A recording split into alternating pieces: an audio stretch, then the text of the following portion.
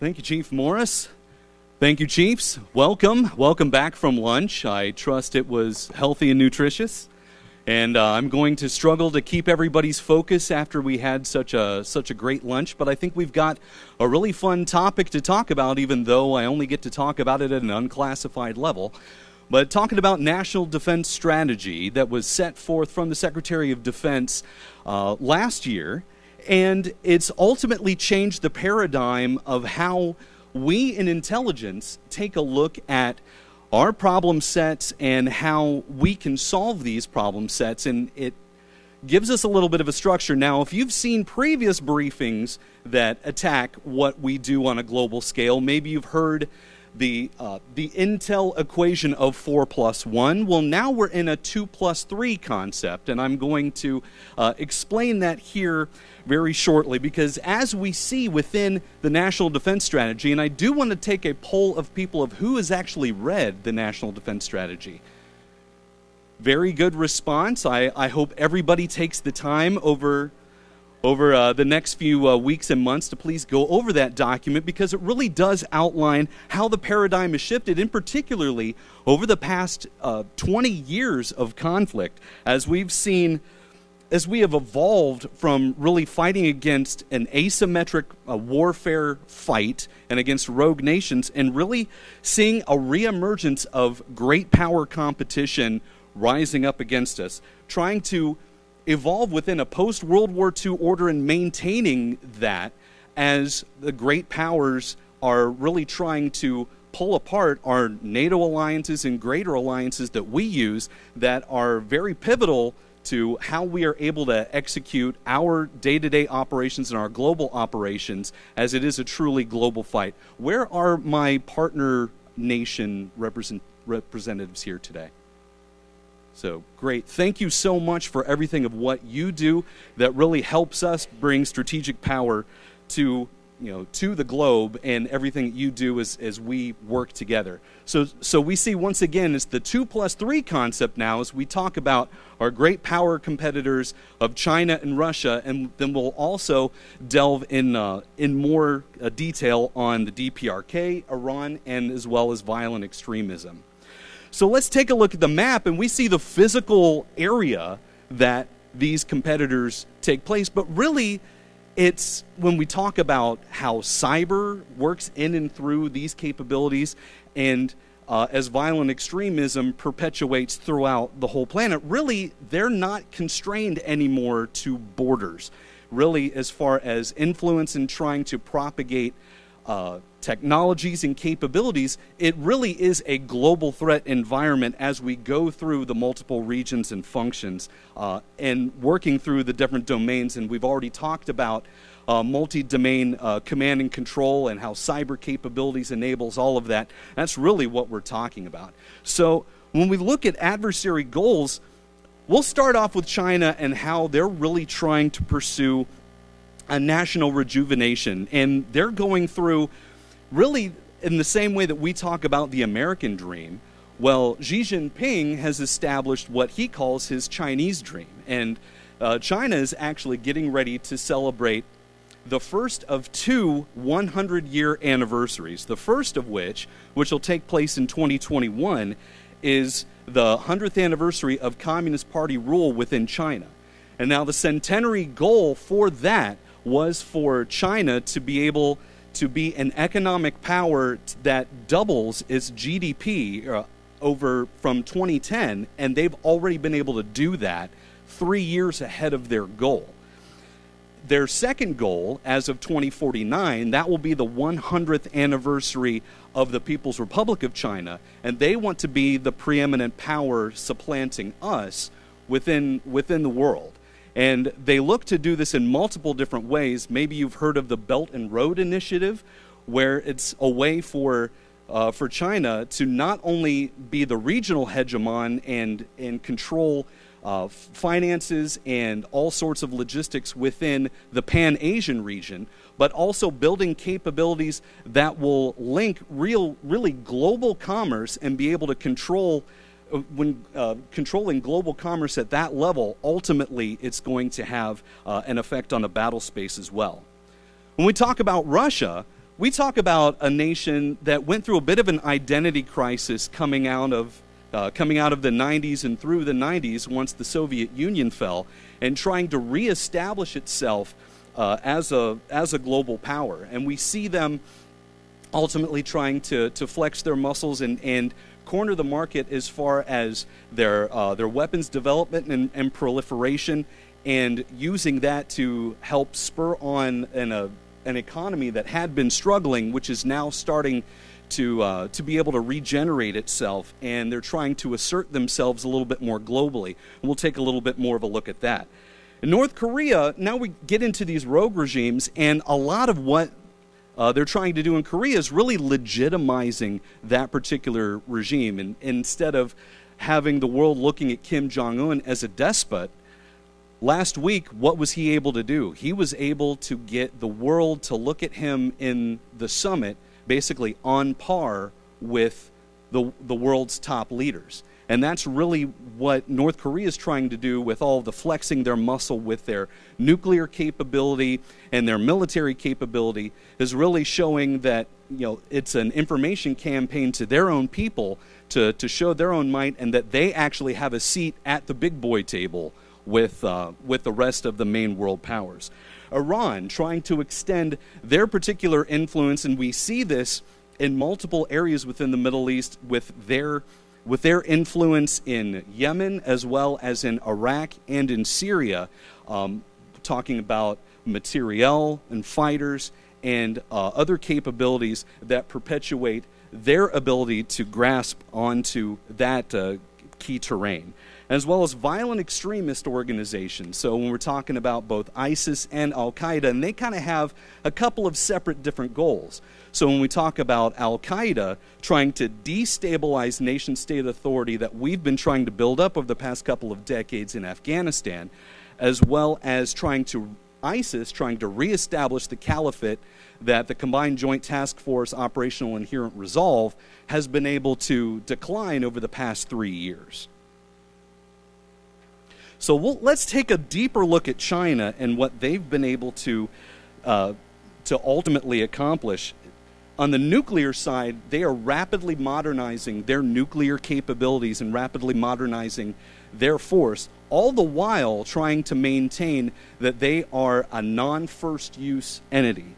Uh, the, the numbers are somewhere between 260 to 280 uh, actual warheads that they have, which really makes them the the second smallest of the top five nuclear powers as far as how many active warheads they have within their arsenal.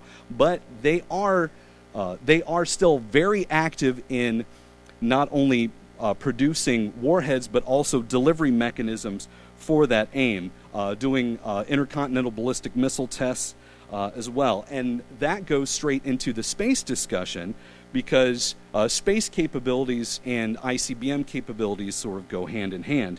And also focusing on um, satellite communications, robust ISR capabilities, once again, getting into that command and control discussion.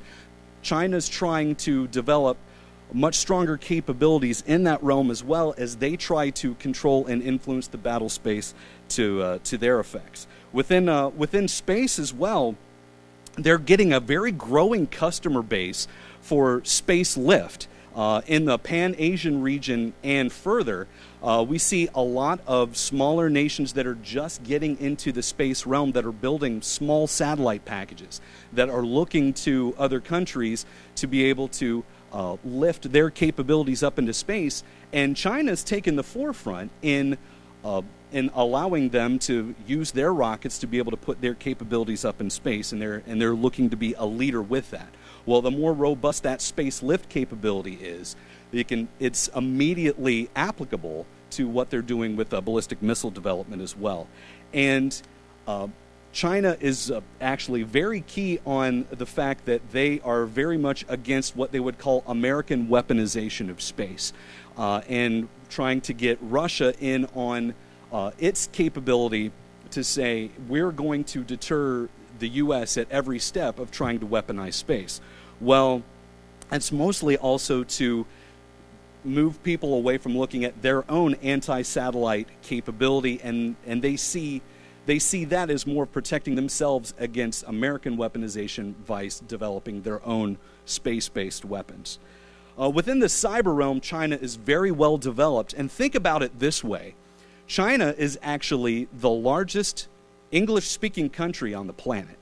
So, what capability does that give a country like China? Well, they have lots of capability that they have that they have developed uh, through cyber reach uh, to be able to reach into American networks, and we uh, we see this as we've got fifth generation cyber development uh, through the company Huawei, and we already know that you know the United States, Japan, Australia, to name a few, uh, no longer use any type of, of Huawei capability for their government networks.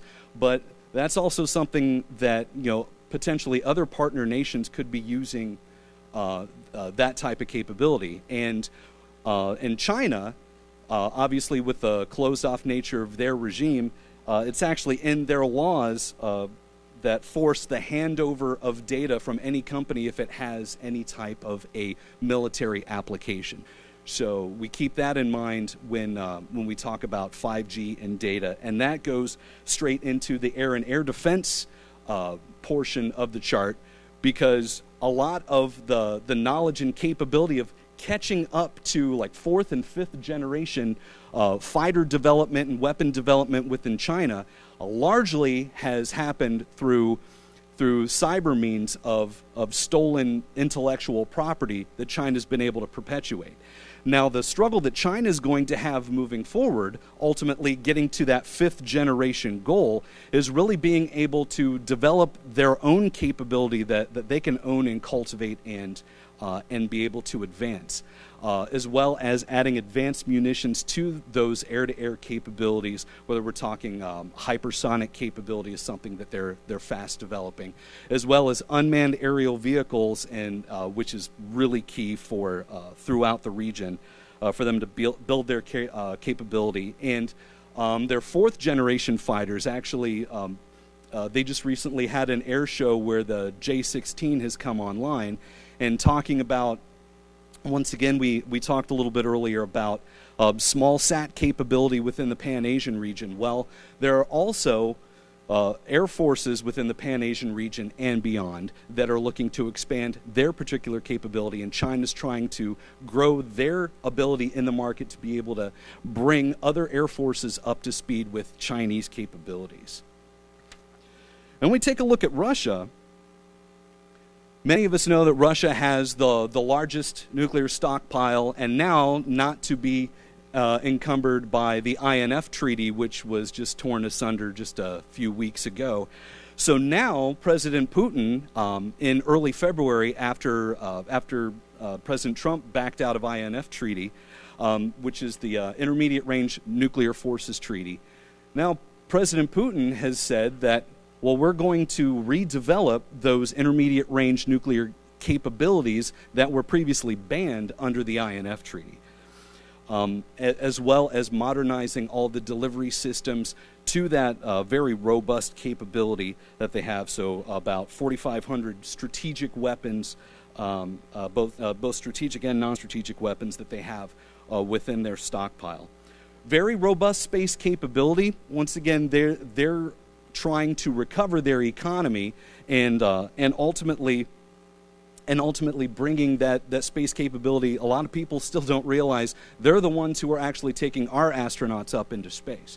So they can use that capability as sort of diplomatic leverage against us uh, if, should we actually uh, increase uh, sanctions on, on them also very rapidly developing anti-satellite capabilities in concert with, uh, with China to deter U.S. freedom of action within space. Very, uh, very sophisticated cyber and electronic warfare uh, capabilities. A lot of, uh, a lot of what our strategic uh, competitors would uh, would use. They, a lot of them use Russian equipment, and we've seen them use a lot of this capability as they've infiltrated uh, into Ukraine and Syria and also into uh, Georgia with those conflicts that, uh, uh that they've been able to, um, to use as a basically a first, uh, an initial into the conflict type of a capability. But within, within air and air defense, we see them using, especially in Syria, this has been their proving ground for all of their capability. We see a lot of, of testing and development and operational um, actually using new weapons, new capabilities, um, whether it's new radar systems, whether it's new uh, aircraft capabilities, um, uh, integrated, uh, integrated missile defense. Uh, once again, this is a country that's very highly uh, reliant on their surface to air missile capability, um, but getting really good with their TTPs and passing those on to their uh, Syrian counterparts and doing a lot of great lessons learned for their uh, command and control capabilities. Now we're going to get into our rogue regimes a little bit, starting with North Korea. And uh, the summit, uh, as I just mentioned before, just just wrapped up last week. There was no deal that was struck. And some of you may have actually read some of the headlines from today that one of the missile production facilities up in North Korea is back up and running. So, what's not clear is if it was already running prior to the summit or if, if this is a result of no deal actually being brokered between uh, North Korea and the U.S. in the lifting of sanctions onto North Korea. But ultimately, how did we get to this point? Uh, a very large uh, ramp up of capability, especially when we look back into 2016, 2017, of North Korea's fielding of uh, intercontinental ballistic missile capability, and we actually saw their first two tests that went off without failure with systems that have the ability to range the continental U.S. So, still very committed, despite still trying to win the court of global public opinion of how of how the, the U.S. needs to, to lift sanctions on, on them. As soon as uh, Kim Jong un was able to declare himself a nuclear state, that was ultimately his ticket to, to the, the seat of saying, I am a legitimate uh, nuclear power. Now let's, let's bring this to the table and, and start talking negotiations. Naturally, um, we, we are looking for a lot more. So, no launches in 2018, but also looking to use that capability within a space sense and, and looking to actually use those, uh, use the development of an, of an emerging space capability to uh, continue their ballistic missile aims.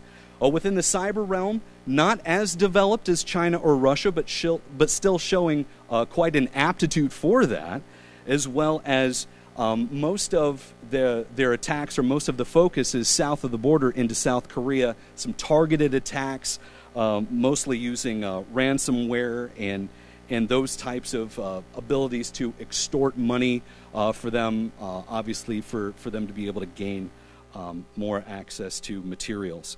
And in air and air defense, we take a look at North Korea that we say that they have a lot of antiquated capability when we look at their aircraft or their missile defense systems, but the regimented uh, ability for them to be able to exercise and be able to use this capability, they are really competent and really good at using a lot of this older capability. So we look past the fact that they're using outdated equipment, they're very proficient at using outdated equipment. Um, and once again, relying on a lot of surface to air missiles and, and AAA that they have in mass uh, in order to be able to counter uh, any threat. And then moving on to the other rogue state, Iran, and another deal that uh, ultimately fell by the wayside in the Joint Comprehensive Plan of Action, which, uh, or as many of you know as the Iran nuclear deal. And when that fell, basically that uh, that removed any guidelines that kept uh, Iran from the ability to be able to develop um, a nuclear weapon within a year for their stockpiles. So uh, previously, under JCPOA, it would it would take them five years or more to, uh, with um, with the amount of centrifuges that they had on hand as well as the, the amount of highly enriched uranium that they had in order for them to be able to build a weapon. Now, without those, without those chains on them uh, provided by JCPOA, they have the ability to be able, or with they have enough highly enriched uranium, they could conceivably have um, a one year uh, out timeline from developing a nuclear weapon. A very minimal space presence, but we did see them conduct a launch, an unsuccessful launch last month. But they are broadly exploring that uh, capability in order to once again uh, cross over that ballistic missile capability and, and space capability. Um, they share a lot of technology with North Korea.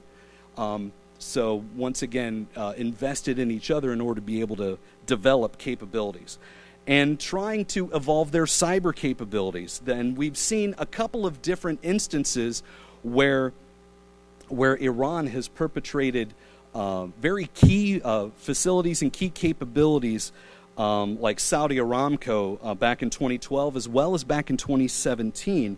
Uh, in 2012, uh, a focused um, a focused hack from the uh, the Revolutionary Guard Corps.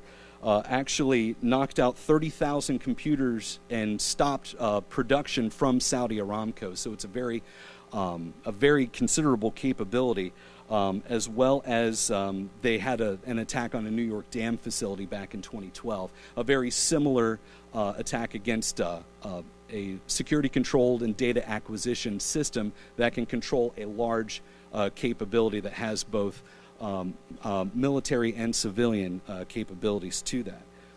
So, surface to surface missile dependent and are working very hard to um, further develop that capability despite, uh, despite sanctions, investing really heavily in unmanned aerial vehicles, and we're seeing a lot of that capability, um, especially down in, in Yemen um, with, uh, with those, uh, types of, uh, those types of capabilities being used.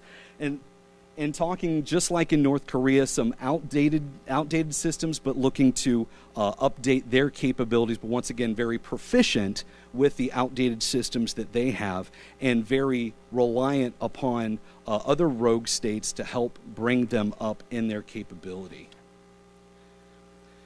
Now we talk about violent extremism, and we think about the the ISIS problem. Uh, imagine uh, the ISIS caliphate, what you see in that map uh, up there, the gray area is what the ISIS caliphate was at its largest strength about four years ago. And now that red dot at, around the At-Tanf garrison there in the tri-border region is really the last real stronghold of what we would call ISIS's physical caliphate. But imagine that caliphate and dealing with it like squeezing a water balloon. So the, the harder you squeeze it, you're going to get water coming through your fingers, and it's going to ultimately perpetrate in all different directions and you know, and all over. And that's ultimately what we've seen with the caliphate. As the physical caliphate is gone, we see a lot more mo- uh, mobilization if you look at the map down below it, uh, and a lot more ability through decentralized execution, decentralized leadership, than be able to perpetrate lone wolf attacks and other coordinated attacks using that capability. So being able to eradicate ISIS, I, I, it's sometimes seen as a misnomer. Well, we've won the war against ISIS. No, we haven't. Really, the war has just begun as far as what we're doing against these violent extremist uh, organizations.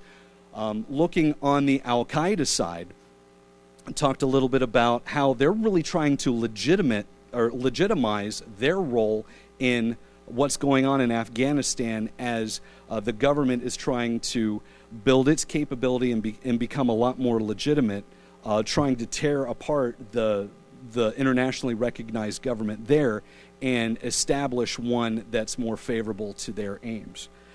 Um, and per- perpetrating all sorts of recruitment bases. And we see this going through, uh, there's a big push to be able to recruit into sub Saharan Africa. And, and it's a major uh, area because now they're going into areas that are not predominantly Muslim, but yet are able to exploit an area that is uh, generally, uh, generally repressed and uh, sowing you know, sowing all sorts of seeds for, uh, for chaos and destruction there in, in places that are not traditionally Muslim. So ultimately, what, uh, what I want what I want everybody to be able to take away from this discussion is ultimately the way the national defense strategy has has shown our fight has really evolved over over the last 20 years and where we didn't necessarily worry about great powers those great powers are catching up to us very rapidly. But if we devote all of our attention to those great powers once again we're losing sight on a lot of those asymmetric capabilities. So this is once again why we bring in a whole coalition uh, of of help and wealth and experience that we rely upon every single day, and we appreciate everything of what you guys do. So here's a very quick picture of what we're looking at with our intelligence challenge, and I'll take any questions that you have this time.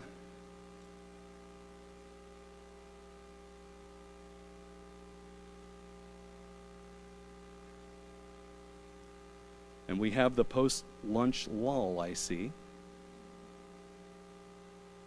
But once again, ladies and gentlemen, I really appreciate your attention. Thank you so much. Congratulations, Chiefs, and uh, have a great conference. Thank you.